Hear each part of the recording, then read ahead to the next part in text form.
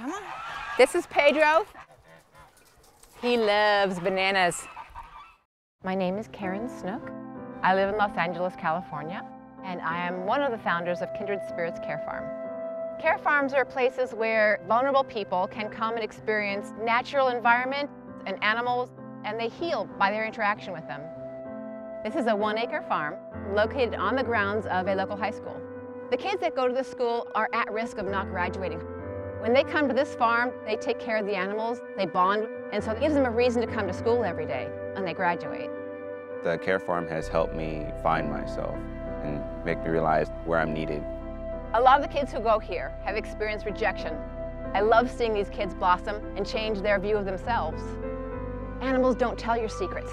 The peace and the happiness and the trust that they built with those animals are skills that help them for the rest of their life.